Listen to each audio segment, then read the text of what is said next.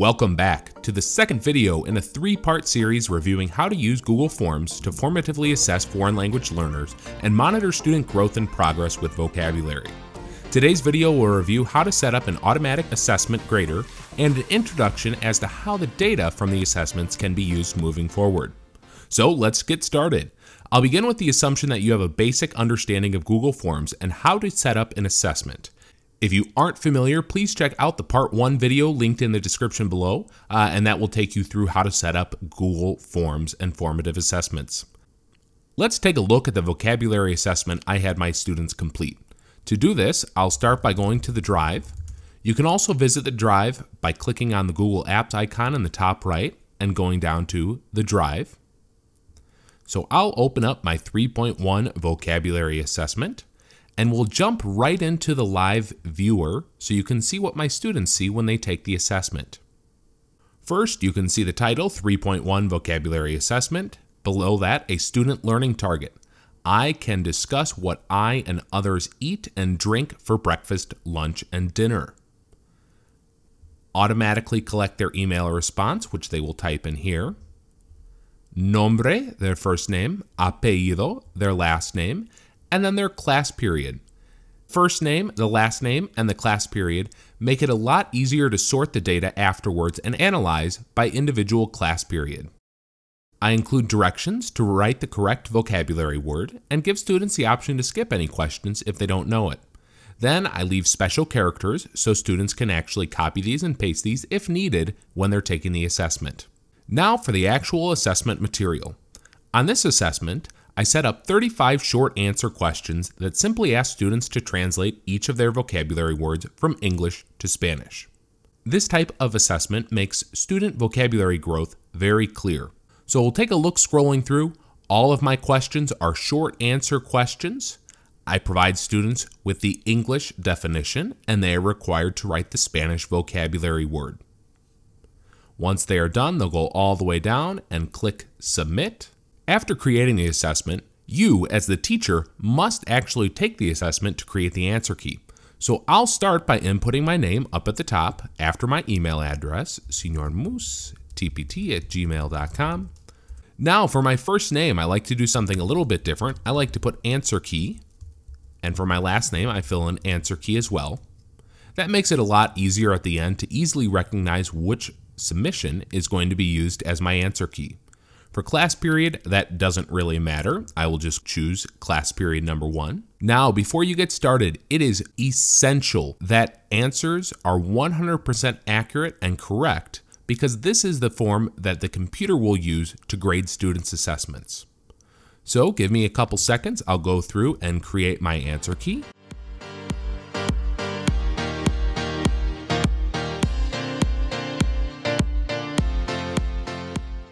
After you are done with the assessment, you have to click I'm not a robot. And then once you're sure that you have 100% accuracy with your answers, you can click submit. Awesome, your response has been recorded. Now we've already created the Google Form assessment, we've created our answer key, and now we have to have the students take the actual assessment. So you can post the assessment link on your website or share it to them via email. After you have all your students take the assessment, you can open up the spreadsheet that you linked to the original form that has all your student data in it. A reminder that you can locate that in your drive beneath your assessment, such as right here, or if you go to your assessment itself, at the top of your vocabulary assessment, you can click the Responses tab and then click the green spreadsheet to go where your data is. Now look at this, we can see all my student responses. Up at the top, you can see mine is the first response, labeled first name and last name as the answer key, and then I have all my students down beneath that. I have blurred out my student email addresses and names for privacy purposes. And then if you scroll over to the right, you can see what class period they have. Scrolling down, we'll see later in the day that later class periods took the assessment. These up at the top header are all of your individual questions, my vocabulary words. And then down below, these are individual student responses for each of the questions. But we don't want to simply look at our student responses. we want to set up an automatic grader to compare student answers with our answer key that we already generated. To set up the automatic grader, you first need to click the add-ons in the top toolbar and then click Get Add-ons. We are looking for an add-on called Flubaroo. Sometimes it will pop up within the main screen, Flubaroo right here, but if it doesn't, in the top right, you can search Flubaroo, F L U B A R O O. Click Enter to search, and then it should pop up right away. You start by clicking the plus free icon on the right hand side. You then have to choose which Google account you want to associate it with. And then you have to give Flubaroo permission to access that Google account's drive and email privileges. This is okay, they won't take advantage of anything, uh, and they're just using that to get the students their responses. So click Allow at the bottom, and then you'll be welcomed to Flubaroo. If you want to go ahead and read the information message that they give you or go to flubaroo.com, you can pause the video and go there now. After installing the plugin, you must enable Flubaroo in this sheet if it's not already enabled. In this sheet, it's already enabled, so what I'm going to do is I'm going to create a new sheet just to show you what you will have to do in the future process. You'll start off, here's your new spreadsheet. You would typically have to go to Add-ons, Flubaroo, and then click Enable Flubaroo in this sheet. And then you're good to go. However, we'll close out of this sheet and go back to our old sheet. Once you have Flubaroo enabled, you need to click on Add-ons again, Flubaroo, and then Grade Assignment. First, you must identify whether or not you want Flubaroo to grade each question. Clearly, I don't want Flubaroo to grade the first four questions in my assessment. Those questions asking for students' email address, their first name, last name, and class period. That information is used to identify students. So on the left-hand side, if it isn't already chosen, you can click down and click Identify Students. The other options that it provides is skipping grading, which is very clear as to what it does, normal grading, which is what we're going to want for our later questions, and then grade by hand. Personally, I never use this as an option because if I'm going to grade something by hand, it is usually much more time consuming and difficult to provide meaningful feedback to students over the computer. So I still do these parts of an assessment, such as extended responses, on paper. So we've identified the first four questions as identifying the student. That is correct. Now we're moving on to the actual assessment questions. You have multiple options right now. You have first to assign the point value. Clearly, we want each question to be weighted equally, so we will leave all these point values at 1. Flubaroo tries its best to automatically assume which questions you want to be normally graded and which ones you want to be skipped, but it isn't always 100% accurate. So you need to scroll down and make sure all your content questions are marked as normal grading and all the point values are marked at 1, or however you'd like to weight them. After you've double checked all your settings, you can click Continue on the bottom right. Now you must choose which submission you want to choose as your answer key. The first one on the list should be the one that you originally submitted. As you can see, mine is Senior Moose TPT, answer key, answer key as my name. If you ever forget to take the assessment before you give it to your students, you can always go back, take the assessment, and then you'll have to look through your answer key within this list. So I'll make sure my answer key is selected, and I'll click continue in the bottom right. Right now, Flubaroo is going to work on the grading. Since Flubaroo is a scripting app, what it actually does is compares the characters in student responses to those in your answer key.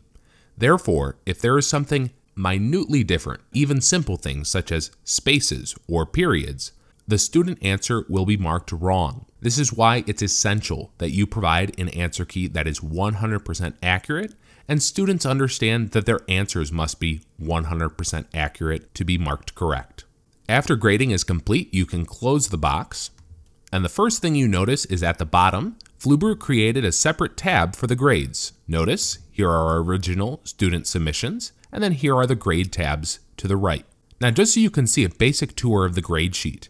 First and foremost, this is based off of data inputted on the Student Submissions tab, so make sure you aren't making any edits on this sheet. In the top left, it gives you a quick assessment summary. There are 35 points possible.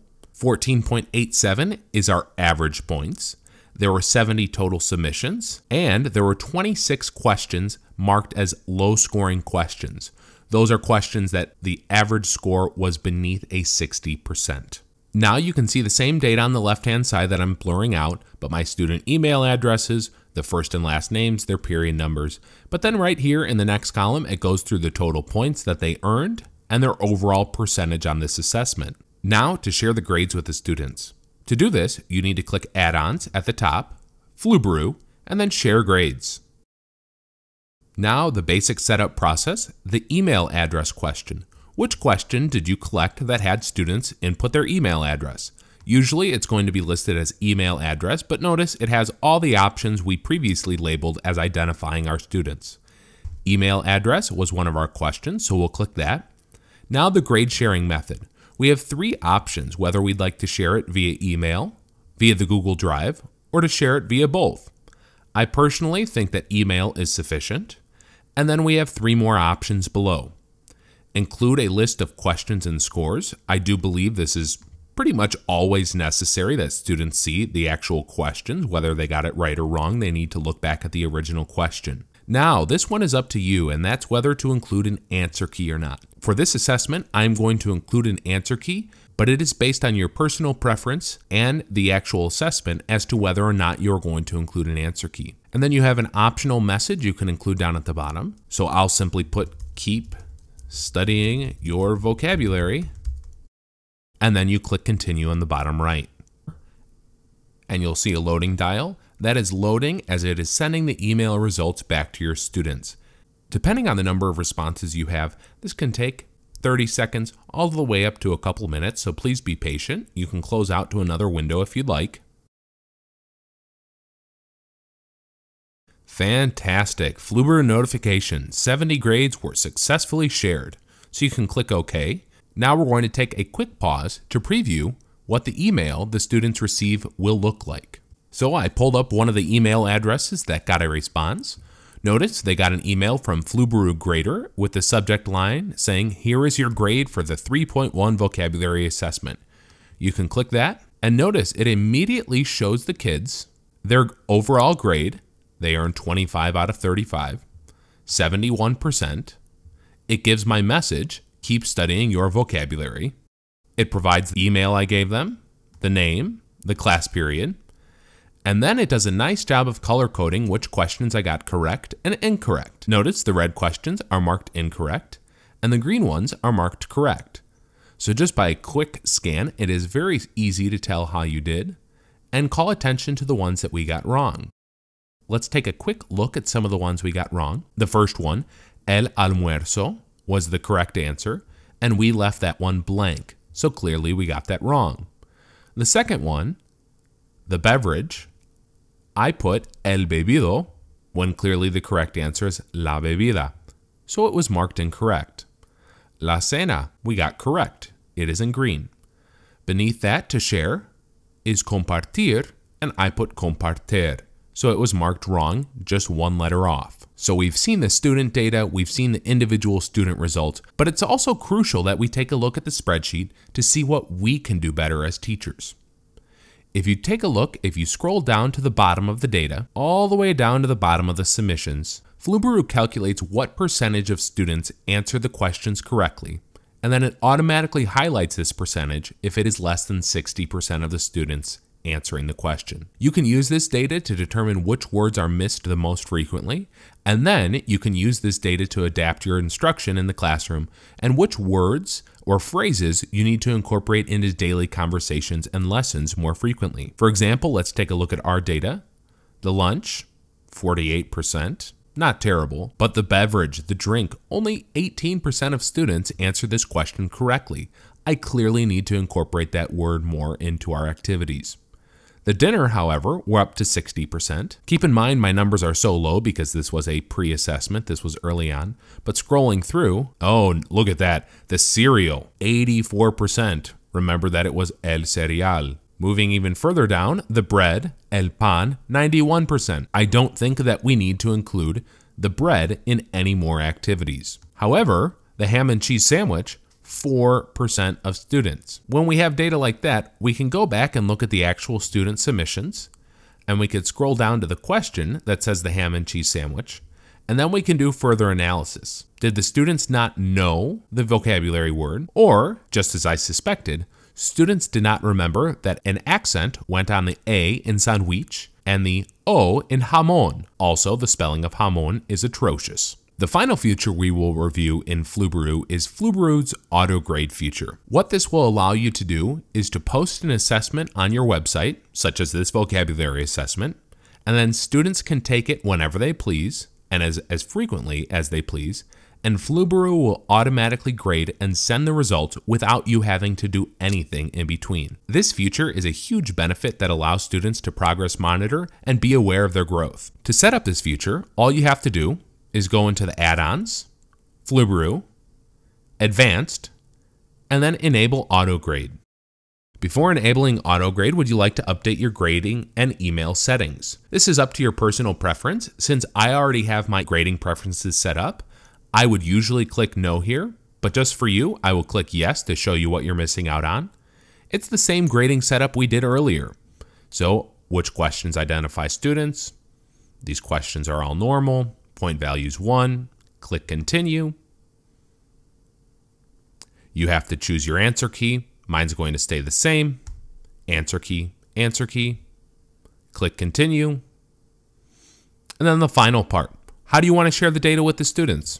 Well, it's going to send it to their email address. I want to share via email, include the list of questions, include an answer key, and then my little note to them at the bottom. Click continue. And you are ready to go with your auto grader. I hope this video provided a basic introduction to how to use Flubaroo to automatically grade formative assessments created on Google Forms. Our final video in the series will take an in-depth look at the data analysis process and how to use these assessments to monitor student growth. The final video will also provide an introduction to the student self-evaluation and SMART goal process.